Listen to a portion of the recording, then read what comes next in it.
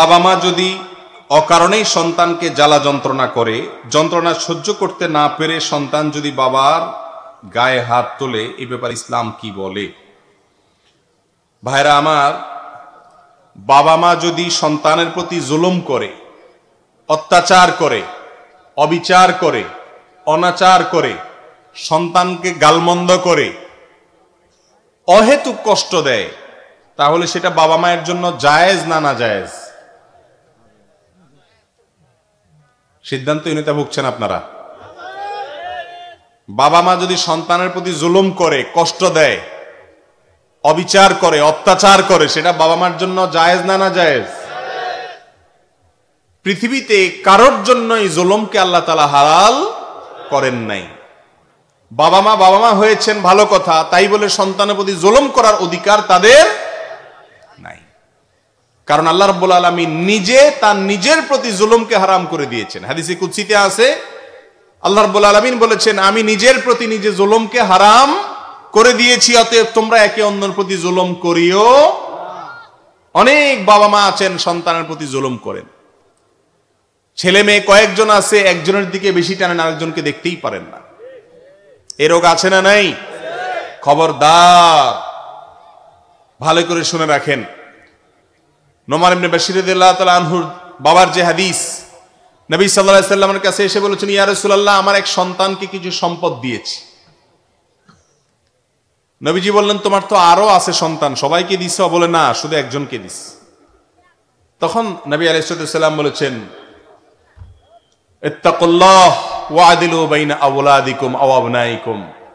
আল্লাহকে ভয় করো। আর সব সন্তানের সাথে ইনসাফ করো, একজনের দিকে বেশি টানবা এমনকি এক সন্তান যদি বেশি খদমত করে, আদর যত্ন করে, সেজন্য আপনি তাকে একটু জমি লিখে দিবেন, সম্পদ দিয়ে দিবেন, অন্যদেরকে দিবেন না, এটা জায়েজ নাই। এই হারাম কাজটা অনেক মা বাবা করে থাকেন।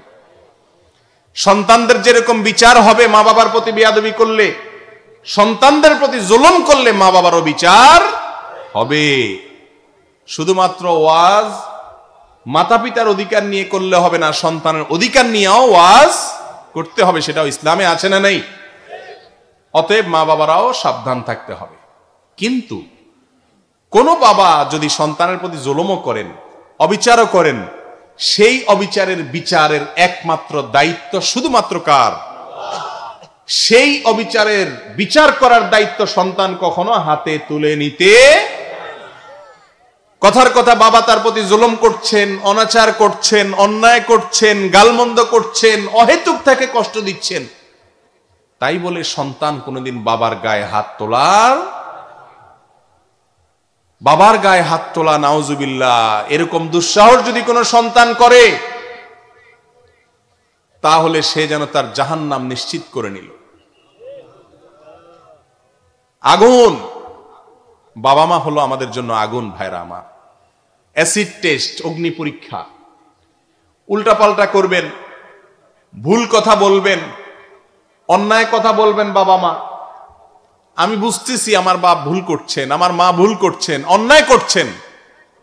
কিন্তু তাই বলে আমি তাদের বিচারের দায়িত্ব নিতে পারি তাদেরকে বুঝাইতে পারি প্রয়োজনে সুন্দরভাবে, অন্যদেরকে দিয়ে, মুরব্বীদেরকে দিয়ে বুঝাইতে পারি, কিন্তু আমি নিজে তাদের বিচারের দায়িত্ব নেওয়ার অধিকার ইসলাম আমাকে দেয় নাই খবরদার।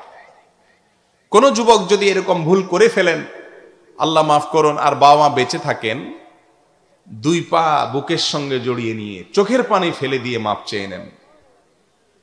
মৃত্যুর আগ পর্যন্ত সুযোগ আছে। মন থেকে যদি তারা আপনাকে মাফ করে দেয়, আপনি ভুল বুঝতে পেরেছেন, আর বাকি জীবনে কখনো করবেন না, সাবধান থাকবেন। যদি তবা করেন বাবা মা যদি মাফ করে দেয় ইনশা আল্লাহ আল্লাহ মাফ করে দিবেন। ভাইরা আমার, মা বাবা এমন এক জিনিস। রসুল আকরম সাল্লাম বলেছেন, রেদার রব ফি রেদাল ওয়ালেদাইন। মা বাবা সন্তুষ্ট থাকলে আল্লাহ সন্তুষ্ট হয়ে যাবে। আর মা বাবা অসন্তুষ্ট হলে আল্লাহ অসন্তুষ্ট হয়ে যাবে। অন্যায়ভাবে যদি মা বাবা অসন্তুষ্ট হয়, তাহলে আপনার টেনশন নাই। কিন্তু আপনি মা বাবার দিকে তাকিয়ে, চোখ রাঙিয়ে, উচ্চস্বরে যদি কথা বলেন, গায়ে হাত দেওয়া নওয়াজুবিল্লা এটা তো অনেক পরের কথা।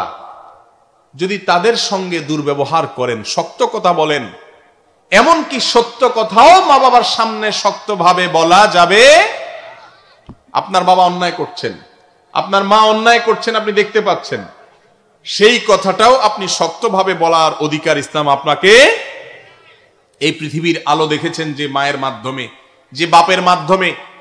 ওই বাবা যদি আপনাকে এক বেলাও জীবনে খাবার না দেয়, ভালো করে শুনে রাখেন। অনেক মা বাবা উল্টাপাল্টা করেন এবং সেজন্য তাদের বিচার হবে, আমি বলেছি আগেই। কিন্তু তাই বলে, মা বাবা অনাচার করছে দেখে আপনি তাদের সাথে দুর্ব্যবহার করার অধিকার শুধুমাত্র জন্ম দিয়েছেন এইটুকুর কারণে সারা জীবন তাদের গোলামি করে যেতে হবে, আনুগত্য করে যেতে হবে। আল্লাহ তালা আমাদেরকে তৌফিক দান করুন।